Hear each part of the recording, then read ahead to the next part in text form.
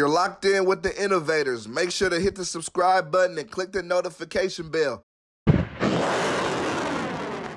You talked about you said you was a blood like that was going on in the Frisco or like where where how did that happen? No, I got I got I got put on a sack.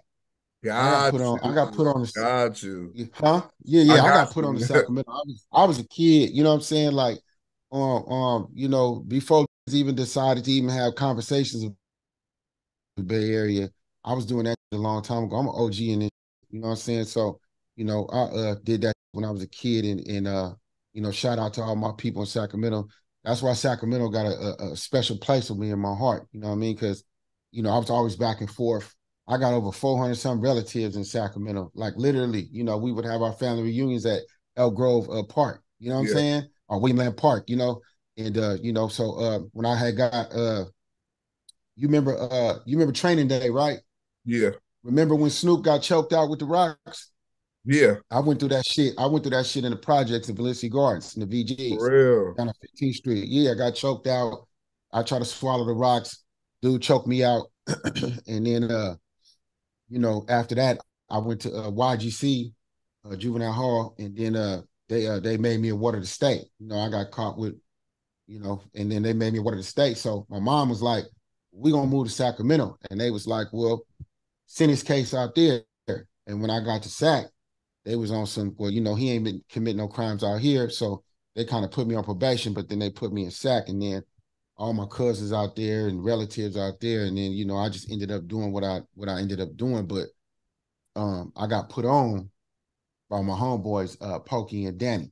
You know what I'm saying? From uh, uh Cherry Street, Cherry Block, Meadow Mob, you know what I mean? And then from there I ended up being in Oak Park where I was at, you know. Yeah. But uh but the thing is, is that when I was out there, and I wanted to clarify that because I know I had did an interview before, and a lot of people in the comments was like, uh, see, I told this story, right? That when I went out there, you know, we from the Bay, right? So back then, you know, we was looking like paid in full back then.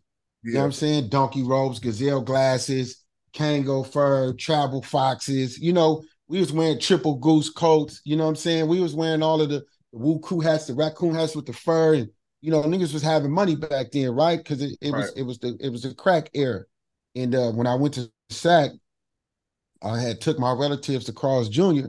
I'm a young nigga having money. You know what I'm saying? Project baby.